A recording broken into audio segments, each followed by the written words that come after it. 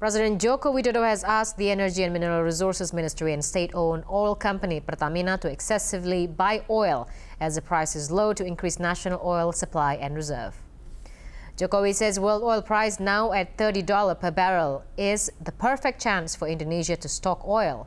He adds the excessive buying needs to be done to anticipate oil price hike. Jokowi has allowed both the ministry and Pertamina to stock oil in order to meet energy demand. Indonesia only has Pertamina operational oil stock which can last up to 30 days and no emergency oil stock. Saya berikan contoh seperti sekarang. Waktu minyak murah, waktu minyak harganya jatuh seperti ini. Mestinya dipikirkan baik BUMN, Pertamina, baik juga kementerian, bagaimana bisa membeli, membuat stok sebanyak-banyaknya.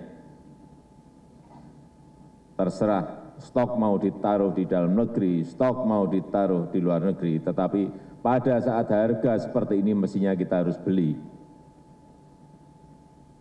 Sehingga nanti pada saat harga pada posisi normal, nah entah 60, entah 70, entah mungkin kembali di atas 100, stok kita paling tidak sudah kita punyai. Sehingga strategi besar bisnis itu juga harus dirancang dengan baik.